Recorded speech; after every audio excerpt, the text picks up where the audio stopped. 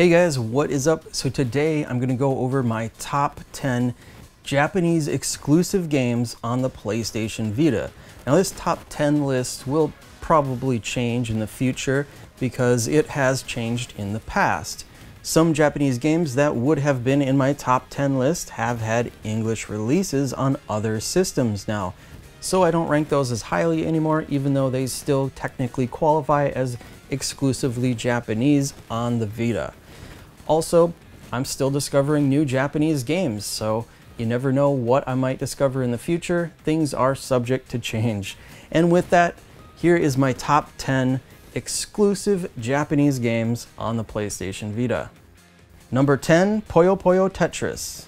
Puyo Puyo Tetris is a fun, lighthearted puzzle game with familiar mechanics and cute characters. So it does feature Tetris, and we do already have Tetris Ultimate on the Vita in North America, but Puyo Puyo Tetris offers both Tetris and Puyo Puyo, plus many combinations of the two. So there are a lot of different game modes to choose from, and generally it's a more enjoyable game in my opinion. Plus it's from Sega, whereas Tetris Ultimate is from Ubisoft.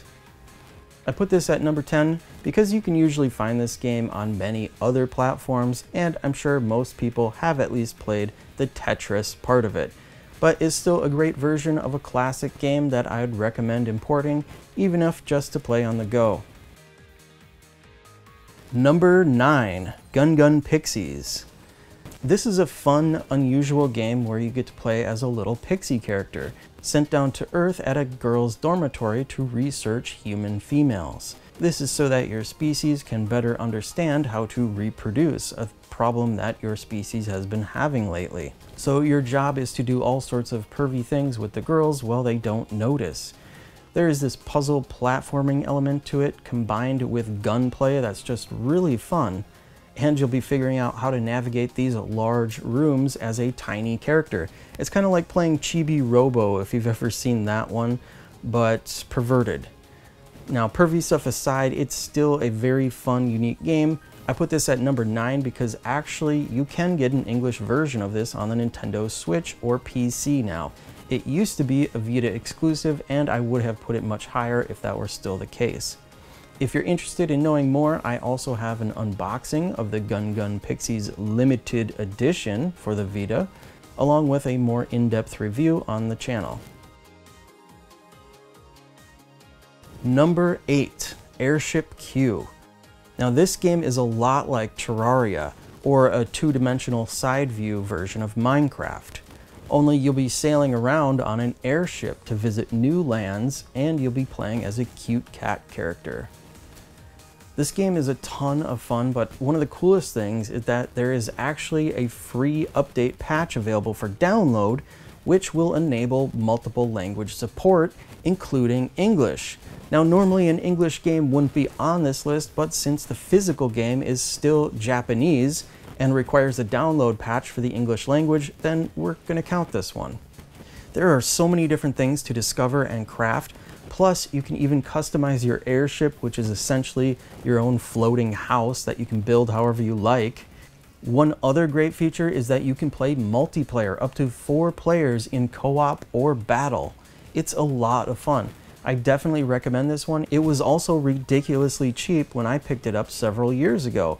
And doing a quick search, I still see it selling for around $17, so it's affordable too. And don't worry, even if you get the Japanese cover, it'll still have the English patch available for download.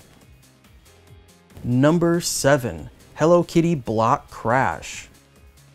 Hello Kitty Block Crash is a brick breaking game, and it's my favorite puzzle game on the Vita.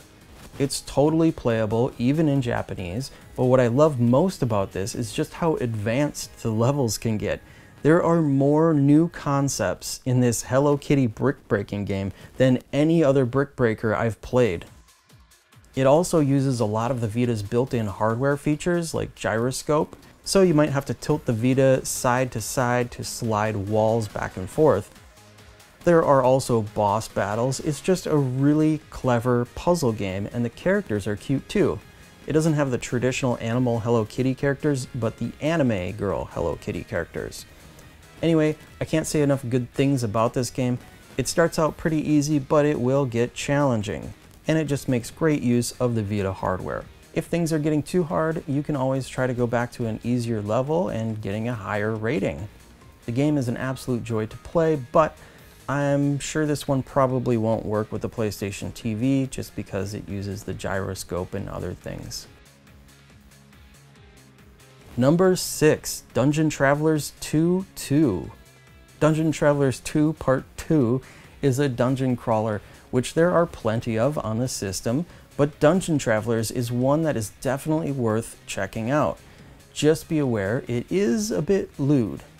If you've already played Dungeon Travelers 2 in English and want more, then Dungeon Travelers 2 Part 2 is this sequel which was only released in Japan. It doesn't take too long to figure out what each of the items do, especially if you're coming from playing the English version of Dungeon Travelers 2.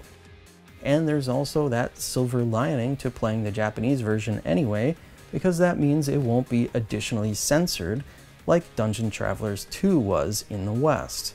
I believe there was something like only four CGs that got censored, but you know, that's the good stuff. Number 5, Macross Delta Scramble. Macross Delta Scramble has really awesome play control the way that your mech transforms between the three different forms is so fluid and satisfying. You've got the ground mech to cover ground combat, the jet for traveling and attacking from a distance, and there's the half mech, half aircraft form that's great for gaining height and making tight maneuvers. So aside from the satisfying gameplay, you can also gain experience, level up your stats, and buy upgrades. And since this is Macross Delta Scramble, the female characters will be occasionally breaking out into song during battle.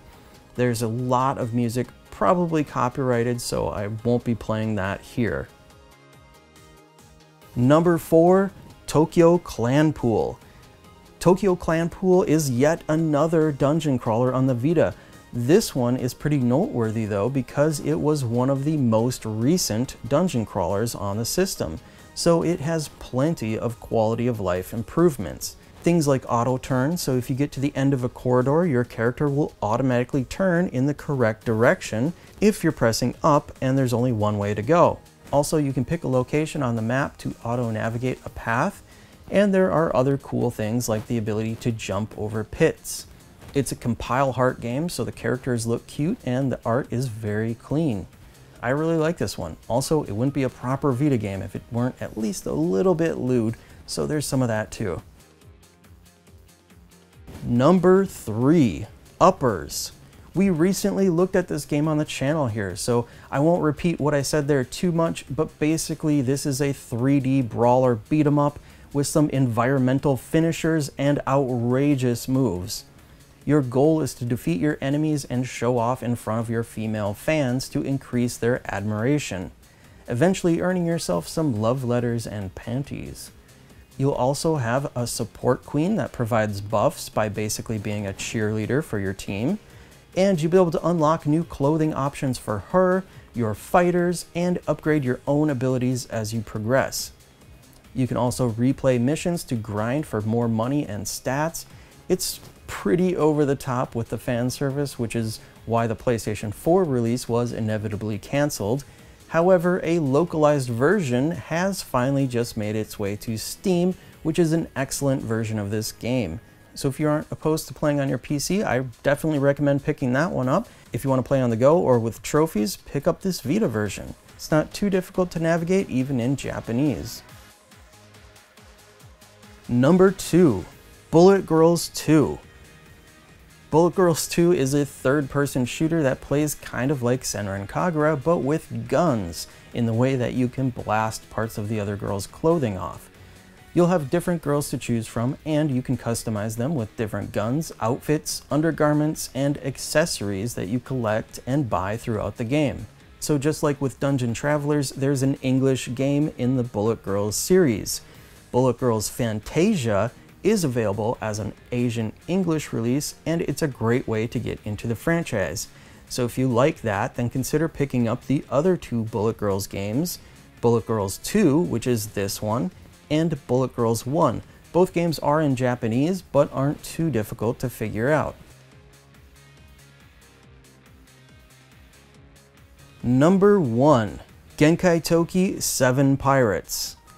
Seven Pirates is a part of the Genkai Tokki series and the most recent on the PlayStation Vita. The series started off with Monster Monpiece, then Moero Chronicle, Moero Crystal, and finally this game on the Vita, which was then followed up by Castle Panzers on the PlayStation 4. While Chronicle and Crystal are both dungeon crawlers with 2D character art, this game uses 3D models and actually plays more like a Neptunia game, with small 3D environments to explore filled with monsters that lead into turn-based combat. When you're ready to travel to a new area, you'll be viewing the world from the top down, sailing around in a pirate ship to get to various lands, trigger events, and discover new things. But what really sets this game apart from most Neptunia games is the traditional lewdness of the Genkai Tokki series. So you'll be seeing a lot of familiar looking monsters, now modeled in 3D. Also, there is an egg hatching mechanic where you'll need to bust eggs open using your assets to reveal what's inside. Ooh, this one made a mess.